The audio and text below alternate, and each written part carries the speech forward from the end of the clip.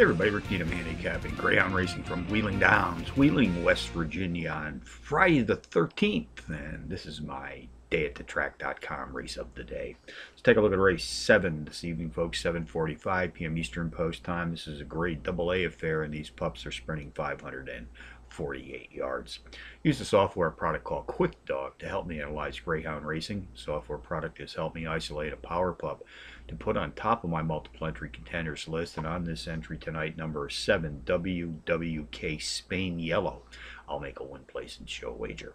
I like to play the boxed exotics here at Wheeling, so along with number seven tonight, I'll be boxing number six, Richie Timeland, number five, Grumpy Lumpy, and number three, CTW Born Free. That's 7653 in the seventh from Wheeling Downs.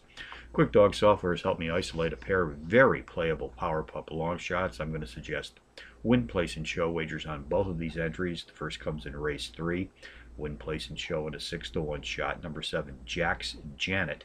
And in race 4, win, place, and show on a 4 to 1 shot. Number 8, SS Kuinor.